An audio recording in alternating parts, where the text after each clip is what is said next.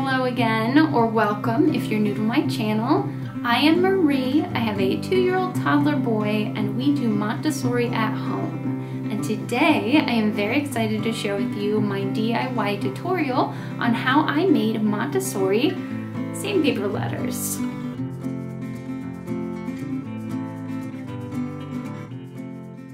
Now, if you have ever looked into teaching your child to read or write, chances are you've probably come across some version of sandpaper letters. And if you have, then you also know they can get very expensive, especially if you take into consideration all the varieties like lowercase and capital and cursive and numerals and things like that.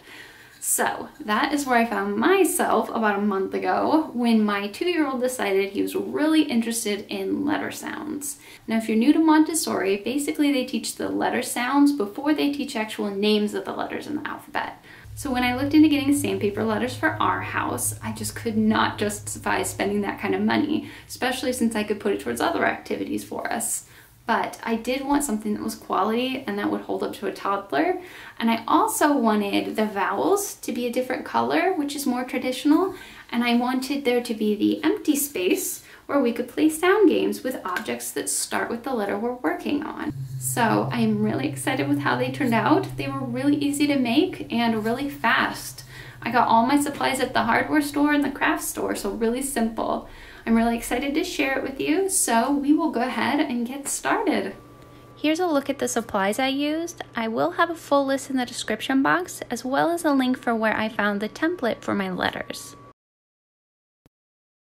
To mount my sandpaper letters, I chose wooden boards that I asked my husband to cut down to about 4 by 6 in size, but you could also use foam boards or even cardstock that was laminated.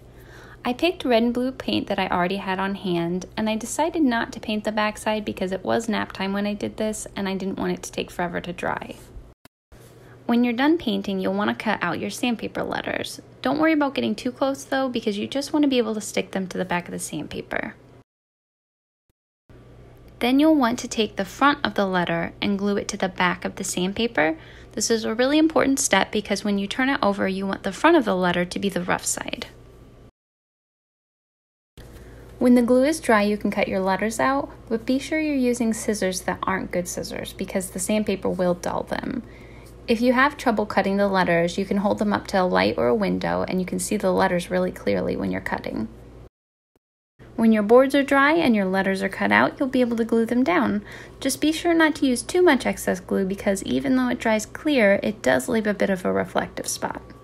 So that is it really easy to make and took no time at all and we've been having so much fun with ours. If you guys have any questions at all, you can comment down below or send me a DM on Instagram at Mama in the Rain. Thank you so much for watching and I'll see you next time. Bye.